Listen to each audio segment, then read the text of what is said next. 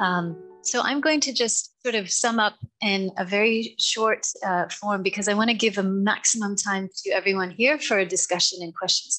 Um, so I work in the Faculty of Law. I, uh, I help to um, administer our LLM in arbitration and dispute resolution. And uh, recently, I've been doing research in the area of dispute prevention uh, along the BRI and also beyond that within projects uh, supported by uh, multilateral development banks and how are they, what's being learned in terms of community engagement. So I just wanted to share a few points that I find uh, offer some hope. Um, I think we have a lot of negative news and and and I think that there are a few things that I'm learning that I think I find very encouraging. So the first thing I wanted to do is just to acknowledge Dr. Ma's effort. I think uh, hearing the details of how he has worked for over 20 years in this field of operationalizing these principles of green finance. Um, this itself, as was mentioned, is a form of dispute prevention. And you can identify projects which are going to align closely with the long term sustainable uh, aspirations of a community by its nature, that alignment of principle itself is going to prevent conflicts from occurring. So um, I think there is a common uh, understanding that we need to protect our earth we have to take care of it. And this is something that is shared broadly. This is not a this is not limited to a particular nation or a particular ethnicity or particular race. I think we all have this common aspiration that um, the the well-being and the uh, the interest of one part is closely tied with the well-being of the entire planet and, and conversely, and vice versa, the suffering of one part uh, affects the suffering of the whole.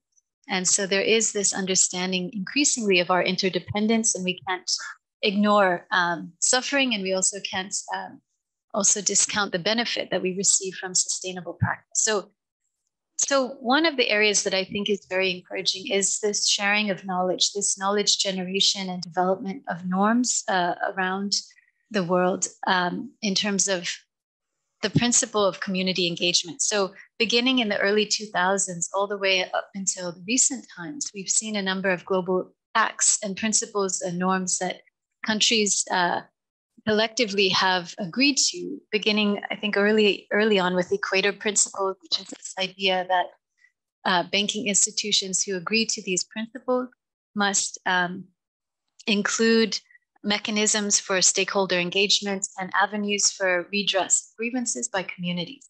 And so these principles um, have been accepted and adopted by um, most uh, financial institutions that support uh, major infrastructure projects.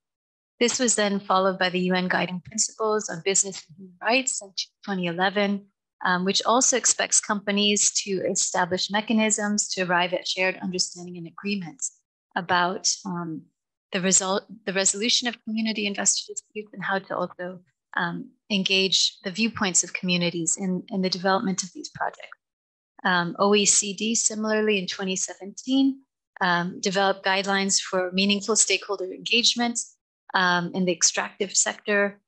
Uh, we see these principles reflected in the Sustainable Development Goals, especially the principle of partnership to achieve these goals, um, also the, the aspiration towards sustainable cities and communities is one of these uh, uh, goals that uh, nations as a whole have agreed to.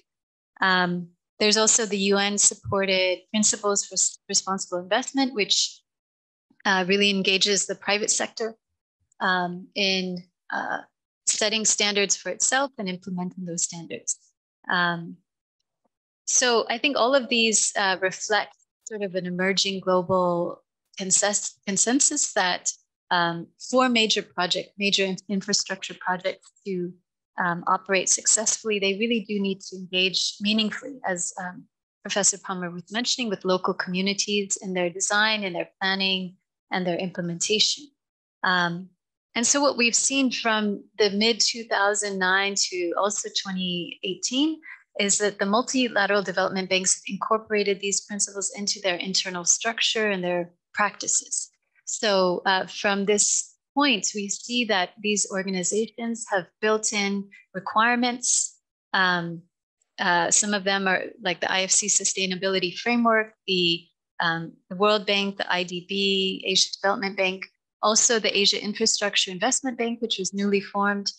All of these banks, which are housed and uh, based in multiple jurisdictions in different geo, uh, geopolitical uh, sort of um, um, with various geopolitical perhaps aspirations, they have a common understanding, I think, of this the principle of community engagement. So what may differ in terms of their aspirations, perhaps from a geopolitical level, they have a common interest from a very um, principles-based level in terms of what needs to be done for communities and for sustainability. And I think this is the second thing that I find very encouraging is that there is a almost a you can see almost a parallel language, uh, a common language that's emerging about how do we understand uh, community engagement.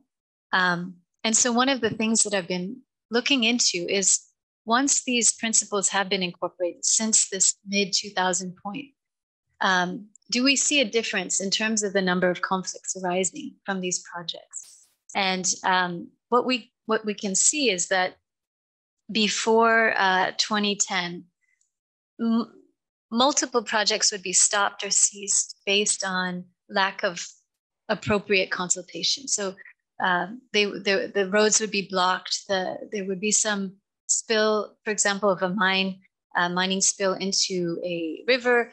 Uh, there would be um, uh, frustration by the local community and blockage, and then eventual uh, stoppage to a project um, after these experiences and after this um, uh, period of learning, beginning in this uh, mid 2013 2015 period, um, the, the, the, the, the shift you can draw is from one of community notification. Basically, I so-called consult or engage you by notifying and telling you what is going to happen in your community to one where you see this standard of consent, informed consent. You need to actually, the participants, as Dr. Ma was saying, there has to be disclosure and then understanding, uh, a common framework, a, a, taxonomy, for example, of what's happening with the environments and assessment, and then an, a consent process. So for those projects which are high risk, this is now the standard.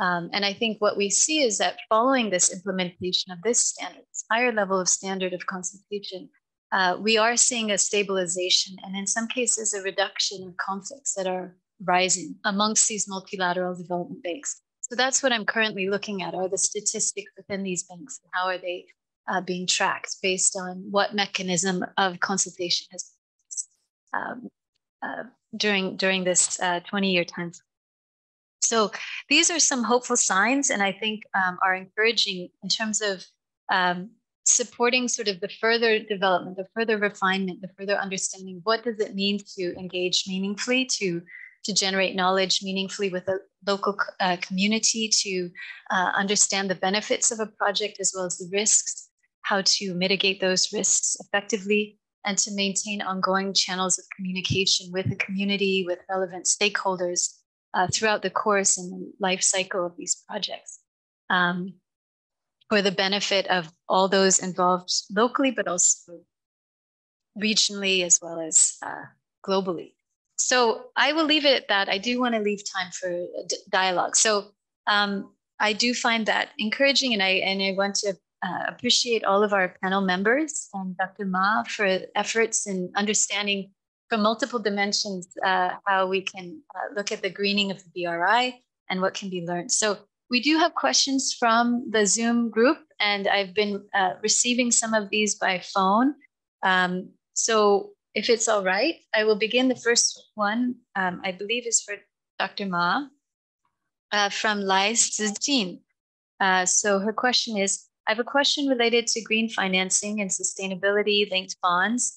Um, unlike green bonds, SBL does not restrict the use of proceeds. Theoretically speaking, corporations can use the proceeds in a way they want, such as investing in carbon intense activities, as long as they meet goals that they set.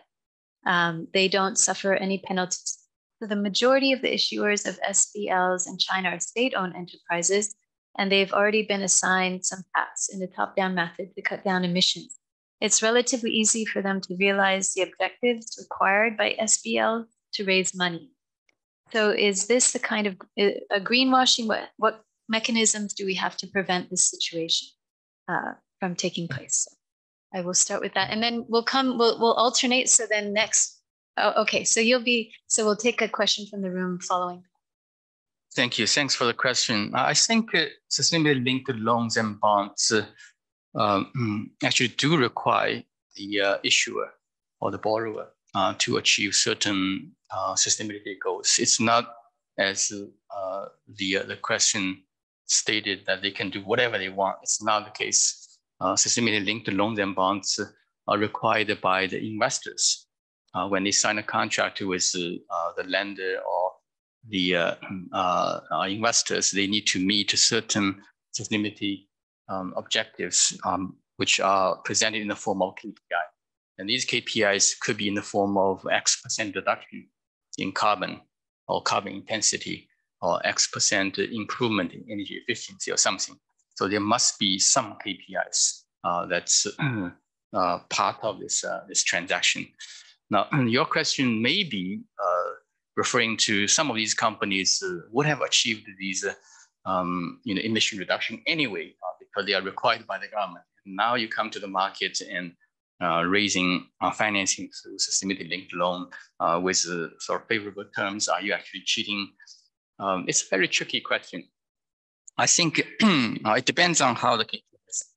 If the KPI is set uh, with not enough emission, uh, meaning if you can reduce a little bit of emission, then I will label this as sustainability linked the loans and bonds. Then it's a it's a target setters problem, right? this uh, target setting process uh, it's not ambitious enough, it's not green enough, uh, but still they may be green. they may be asking some reduction from the average. Uh, then we probably can label this uh, as not a very green project. It's a, it's a light green project rather than a dark green project. Uh, this is how I would describe it. But indeed, it's a problem of the entire you know, framework for such products. That's why, as I said, the G20 is now working on a transition finance framework, which will ask regulators in different countries uh, to set a more specific uh, standard requirement on how do you set targets? Uh, how do you make um, these targets consistent with significant contribution to SDG rather than only marginal contribution?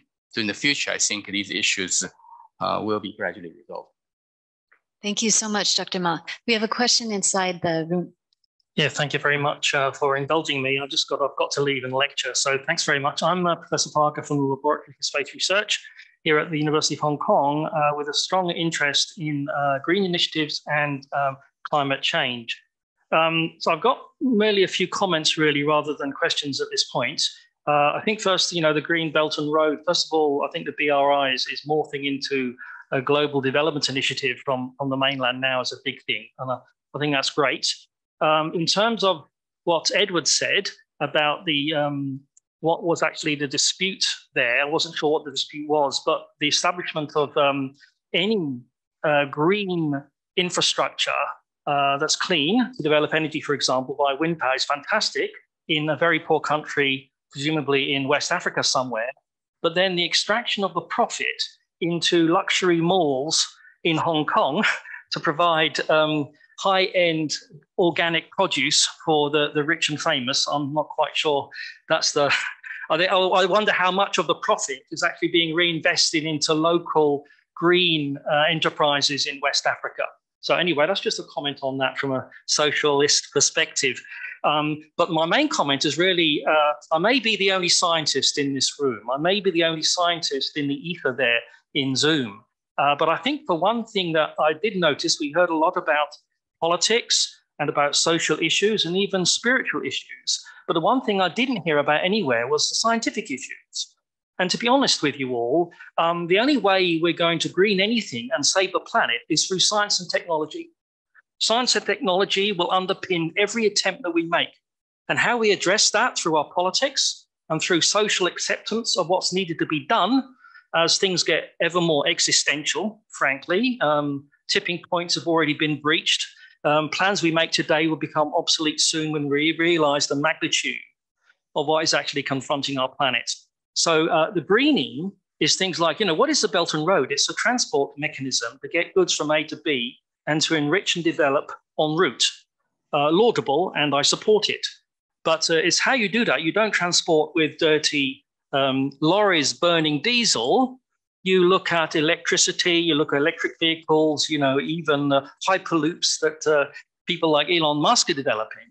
But, you know, I think that's the thing that for me, the elephant in the room is there doesn't appear to be much of a recognition or discussion. I mean, I know it's there. I know uh, that you get advice on all these things, but you need, you know, independent scientists without fear or favor to tell people what they need to hear about the reality on the ground.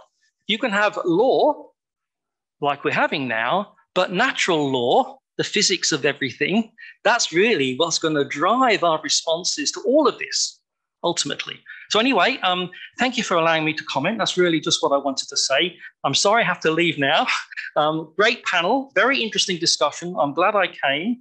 And, uh, but I think we, we really need to think about having an independent scientific voice on everything and make sure it is not being uh, biased by uh, vested interests. Thank you. Thank you so much. And if you if you don't mind later, if you can email me, it would be wonderful to continue that dialogue. And I think sure. just a matter of space and logistics, but I think what you say is absolutely true. And I think science is at the core of understanding how we uh, protect the natural environment. So it'd be great to talk more and just explore how we might collaborate. Uh, thank you, everyone. And I'm sorry I have to leave. Thank you Bye-bye. so much.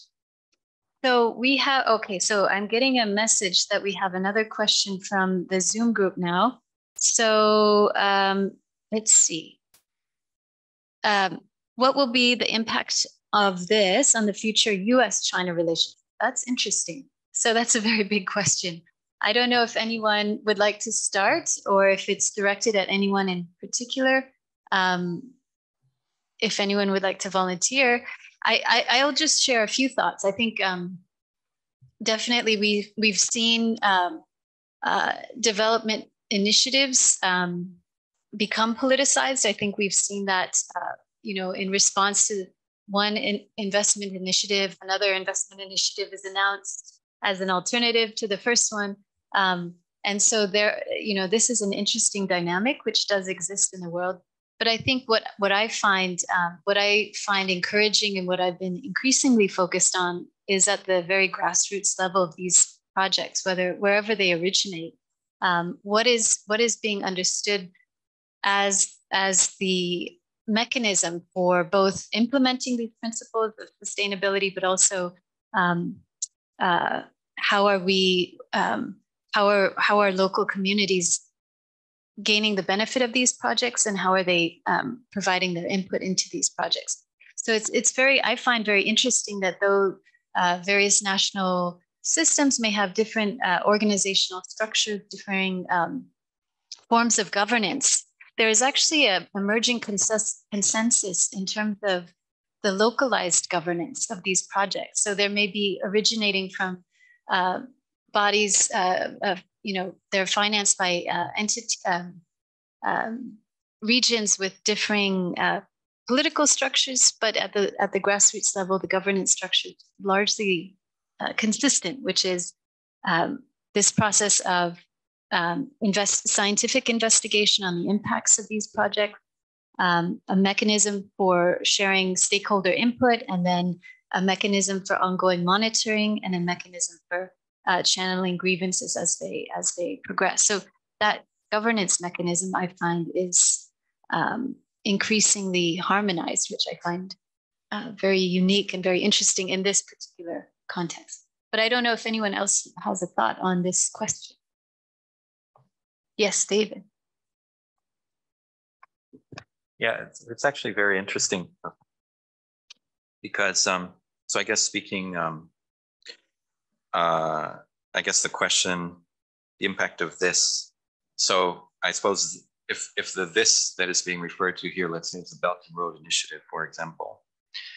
So what happens when we look at it? Because the I guess the uh, in the international media space, something like the BRI is being treated as a kind of a, a zero sum competition between China and the West. But I'll just give an example of uh, where I've actually uh, been doing some research uh, in northern Laos. So this is a region which um, has been trans, uh, uh, like momentous transformations are going on as a result of the construction of the recently opened railway between Kunming and Vientiane, uh, as well as some economic, special economic zones near the Lao-China border, as well as the Lao-Thailand border as well as other highways. And so what was previously a very remote region uh, is now really being transformed by all kinds of infrastructural investments, um, many of which uh, are coming from China. Um, but what we can see is that the local actors, they don't see this as we're engaging with the BRI or we're engaging because we're choosing this country or that country. They just really are interested in what is better for them. And these uh, building infrastructures are things that building connectivities is something that others can add on to that. So we had a China built railroad, which has now been opened up. And so what's happening now is that the Japanese are building new infrastructures connecting to that railway. So rather than seeing at a zero sum competition between Japan and China, which geopolitically may be at odds, but when you look at the local situation, that's not what happened. One connectivity was opened, which is then leading to another actor uh, independently creating new connectivity. So investing in new special economic zone, which is being invested by Japan and Thailand's largest real investment developer, which has major investments throughout Southeast Asia. So we can see different actors are piling on to open new connectivity and investment rather than separate, you know, separate and mutually competitive um, um, uh, programs of uh, BRI this or whatever that. And so another, um, uh, and what's interesting is that we can see that, uh, so there's that level of of uh, competitive, uh, the structure of public discourse, which is designed to emphasize division on the one hand, but then we have what we look at what we heard, for example, from uh, Dr. Ma, is at more low-key levels, consultations going on between actors of many different countries who are away from all of these, um, all of these uh, content, who are building consensus uh, to develop norms that can be that um, develop common norms and principles which um, uh, which can be applied by all of the actors, uh, regardless of uh, which country they're coming from. So I think it's important to be aware of all these other dimensions um, rather than framing everything in terms of Sino-American relations or things like that. From me, uh, because uh, apart from being a lawyer, uh, and I'm also a principal representative of the International Chamber of Shipping, China's office. Uh, and the International Chamber of Shipping is uh, the most influential and biggest ship owners and operators association, uh, the trade unions in the world. And we are uh, very much involved in um, the shipping uh, maritime convention and regulations. And in the next uh, 20 to 30 years for the shipping industry is also very important for us to reduce the uh, uh, carbon emission uh, carbon emission. And therefore that uh, the, shipping industry is finding the way to reduce it. And uh, in the international and also governmental level um, people are talking about the measures relevant measures how to reduce the carbon emission. And the ICS actually previously proposed uh, uh, submissions to the International Maritime, Maritime Organization, which is the regulatory body of the UN for shipping. And that was actually technically buried by the state members because that's they think some of the members think they are too aggressive, including China. Um, but later on, China, together with another few countries, made their own promote, proposal submissions to the IMO. And since our proposal was buried, was uh, killed by the by the state members, we we try to find another way to work out because we believe that is uh, for the for the whole benefit of the of the global shipping industry's sustainability, and therefore that the, I understand and I was involved with the in the discussions with the Chinese government because we represent um, about like 40, uh, 40 states international uh, ship owner associations as well. And therefore that we are discussing uh, the proposals with the Ministry of Transport and also China uh, maritime uh, maritime safety administration who are in, in charge of this kind of uh, shipping policies and regulations and try to find or reach a concept um, that uh, whether the China's uh, policy can be adopted, can be accepted by the major uh, major society of the shipping, a global shipping. And I would say that that is that's very close to uh, the agreement. And I would say, okay, even now the geopolitical issues are quite uh, tense, especially between not only between China and the US, but also between China and the Western, some of the Western countries represented by the US, of course, and also UK. Uh, we can see that in the uh, in the in the green area, in the for the for the for the uh, sustainable development uh, of the world, uh, there are still quite a number, quite a different aspects that the two parts can work together and to find the middle way to uh, push, uh, press ahead with uh, the good things for the world. Yeah, so that's my story and example. Um, the question inside and one that was just uh, delivered online. Um, we'll take these last two, um, and then we will. Um, so this one is about margin. Uh, the new finance guidelines mentioned um,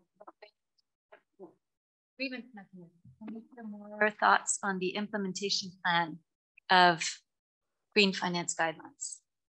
Thanks. I think you referred to a new guideline coming out of the Chinese banking and insurance regulator, uh, which you refer to as the green finance guidelines. I'm not involved in drafting of this. I, I, used to be involved many years ago when I was in the central bank on similar uh, guidelines.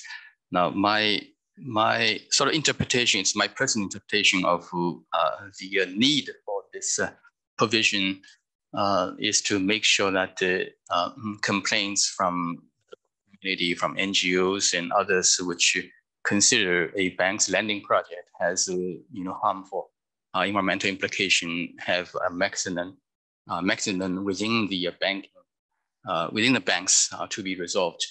And I remember a couple of cases back a few years ago, some NGOs were writing to me uh, knowing that uh, I, I, am a chairman hmm, of the Green Finance Committee, saying that I have a complaint on this Chinese bank and it has a project uh, in certain location that's bad for environment. Can you pass on my complaint to someone in the bank?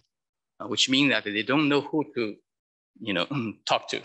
Uh, that, that's a lack of, you know, grievance mechanism uh, problem. And I think in the future, such mechanism should be developed uh, so that the, within the banks, um, there is a procedure of how to handle this kind of complaint.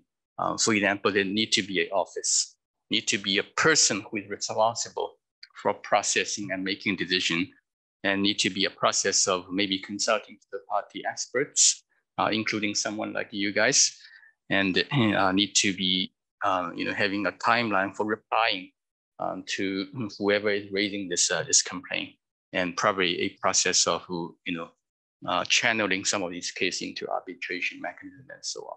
That's what I understand. Thank you so much. I saw a question from uh, Grace, so please go ahead.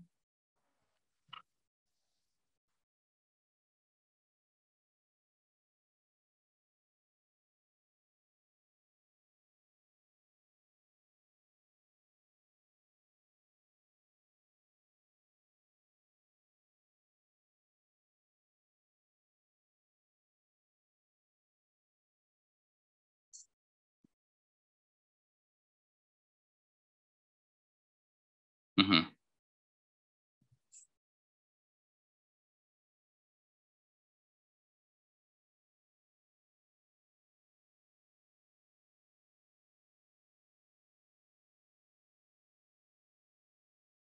uh, sorry, the renewable energy um, projects and also uh, AI and, and automation uh, for the automated vehicles can also help in these kinds of projects.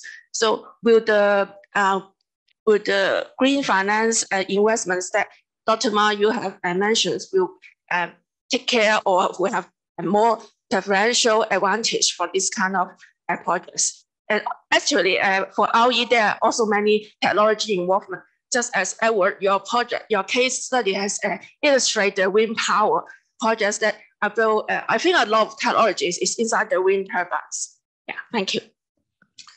So uh, on your question of this uh, green investment principle uh, relationship with other principles such as the equator principles and you know, UNPRI, uh, my answer is that when we drafted the GIP in 2018, uh, the other principles existed, right? So the equator principle, uh, which was actually hosted by IFC, were part of the drafting team of our GIP.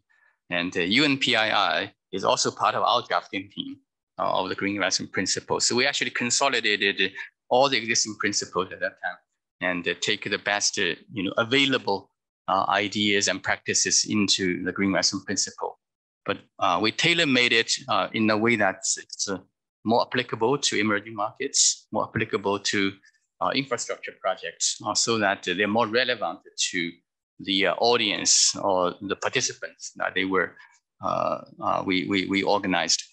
Uh, that's probably answering your first question. Secondly, whether it's binding, legally binding.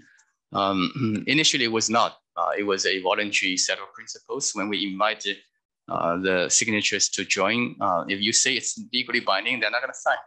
Uh, nobody's going to sign. And we have to tell them it's voluntary in nature, and we will enhance the capacity of doing that over time.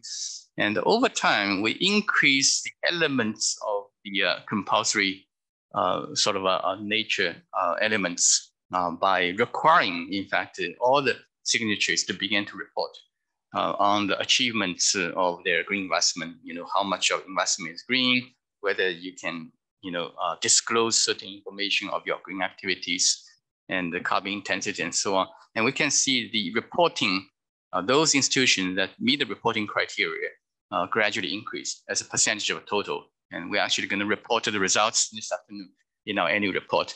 So uh, I can say that uh, we are gradually enhancing the, uh, the compulsory nature of the principle uh, over time. And finally, coal versus renewable. Uh, as you know, China announced uh, stop investing new coal fired power projects in the Belt and Road area last year. And since then, you know, all the Chinese banks have stopped these are new new projects. Uh, but there are uh, issues we need to address. You know, what, what about the existing ongoing projects? Are we going to continue? Or are we going to convert them in the phase two into a renewable? Uh, that's something to be discussed and we need to push for that. And also, uh, if you're not investing in coal-related projects, you are left with more availability of funding to do what? Uh, can we make sure that these funding sources are used uh, more to renewables, to electric vehicles, and so on and so forth. But then it come up with a question of, of, of availability of bankable green projects. There's a lot of complaints saying that these, com- these countries simply do not have uh, available uh, bankable projects. Um, the projects, uh, you know, that's meeting the investment standards are so limited. And uh, that's why I think next phase, we're going to channel more resource for capacity building for developing the pipelines uh, rather than only asking the banks to invest in these uh, uh, non-existent uh, projects. So I think that's a great note to end on. Um, and those are great questions. Thank you, Grace. Um, so thank you very much for, for joining us and to those who joined us uh, on Zoom. We also appreciate your participation and your questions. Um, I believe this has been recorded by our team. So if uh, you'd like to go back and have a look through um, anything that you'd want to review later, you're most welcome. Um, I'd like to thank Ziwei and Isha and for all your support, um, and Dr. Ma Jun, uh, Dr. David Palmer, and uh, Mr. Edward Liu, and also Lunar, who's been doing the AV work here. So thank you all for joining and for your participation. Thank you. Thank you.